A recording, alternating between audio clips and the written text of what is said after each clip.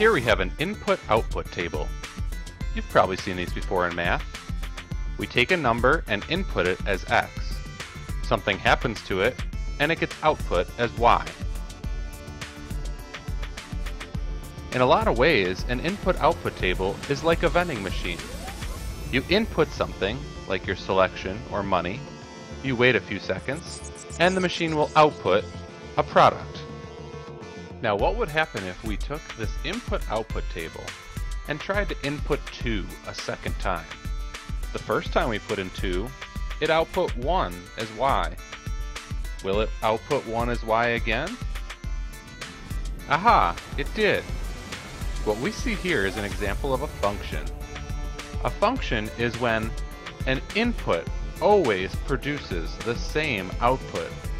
We input 2 earlier and got 1 as an output. And we input 2 again and got 1 as the output again. Let's go back to that vending machine example. Your friend pushes C3 and gets Skittles. If you push C3, you should also expect Skittles. If you don't get Skittles when you push C3, well then this vending machine is not a function. Right here we have an example of an input-output table that is not a function. You notice that we input 4 twice, but in each case we have a different output. Remember, to be a function, an input always produces the same exact output. If we were to input 4 again, I'm not quite sure what the output would be next time. That's a good sign that this is not a function. Now here we have a very interesting case. We have multiple inputs, all making the same output. So is this a function?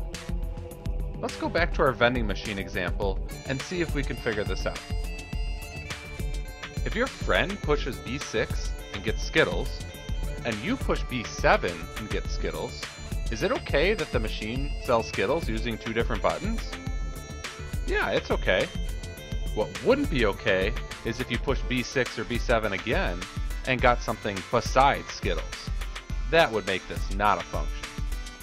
So yes, this is a function. It's fine that we repeat y's. When we repeat x's, that's usually when we get into trouble. Any x that repeats better match up to the same exact y every time, or it's not a function. Now it's time for you to try. Take a look at all these input-output tables, and decide which ones are functions and which ones aren't.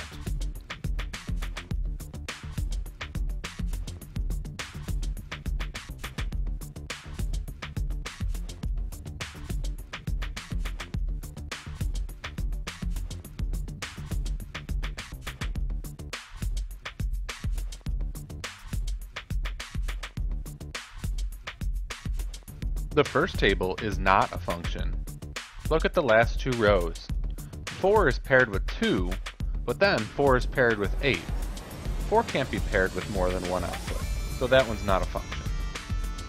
The second table is also not a function.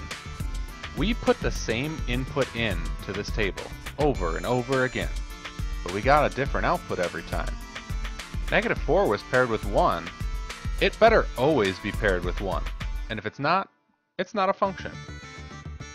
The third table is a function. I see that 2 was paired with 9, and later 2 was paired with 9 again. Looks good to me. 6 was paired with 3, and then 6 was paired with 3 again. Also looks good to me. There's no evidence here that this is not a function. And finally, the last table. The last table is also a function.